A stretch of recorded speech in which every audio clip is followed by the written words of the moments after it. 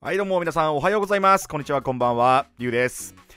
遊戯王マスターデュエル1周年記念日おめでとうございます。この動画何回出せばいいんでしょうか。えー、1月の27日今日はですねスマホ版がリリースされた日と、えーなっておりまして遊戯王マスターデュエルさん特に何もありません。ガチで1周年何もしない説さえ浮上しております。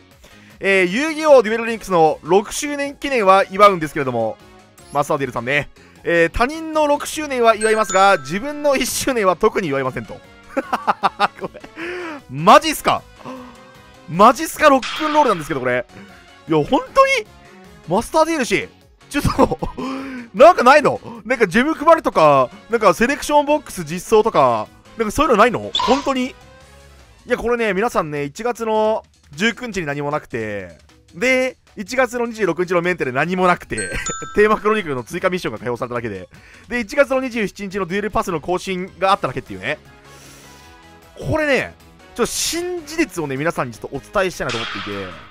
あのー、なんか噂によるとどうやら遊戯王マスターデュエルがその全世界リリースになったのが2月の3日らしいんですよ。だ だからあの1周年記念は2月の3日説っていうのがまず今浮上してるんですね。はい。あのマスターデュエル界隈では。でさらにもう1個説ありまして説多すぎなんですけどあの2月の9日説が浮上してるんですよこれ。記念日が。これなんでかっていうとなんか遊戯王マスターデュエルさんが5月の9日に3ヶ月記念キャンペーンっていうのをやってるんですね。3ヶ月記念キャンペーンやってる人たちが1周年記念祝わないはずないと思うんですよ個人的には。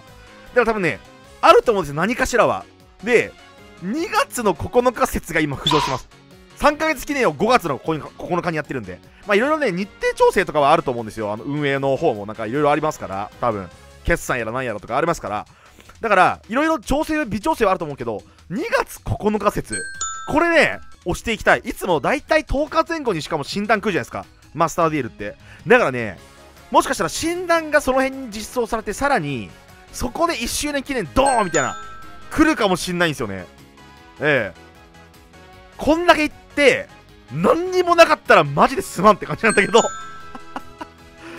いや何にもなかったら何にもなかったで逆におもろいと思って硬派すぎて普通だってさゲームって1周年記念とか祝うもんじゃないですか。いろいろね。あのユーザーを増やすためにもいろいろ施策練ったりするんですけどこれも何もしないとなってくるとさすがに硬派すぎて逆に好きになってくるからこのゲーム。ちょっとねあの注視していきたいというふうに思ってます。またちょっと続報をお伝えしたいと思いますが一旦2月9日説を僕は提唱しておきます。はい。ぜひ皆さんもどう思ったか、えー、コメント欄で教えてください。また次の動画でお会いしましょう。じゃあね。